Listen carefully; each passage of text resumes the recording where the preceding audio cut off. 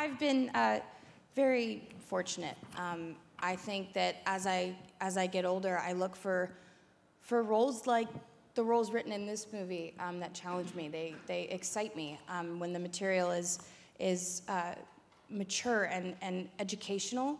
Um, uh, something occurred to me the other day when I was talking with uh, with Brit and Muna. Um, there are there are movies that as as a teenager and as an actor that I love to go see, but not necessarily make. There, you know what I mean? Like like music. There's music that I love to listen to, but music I might not see myself performing or whatever. Um, and I think with with this movie, this is the type of movie that I want to see and I want to be a part of. And I think that, I mean, I, it would be amazing to have to have more things out there like this. But um, I've I've been very very fortunate with the things that I've done.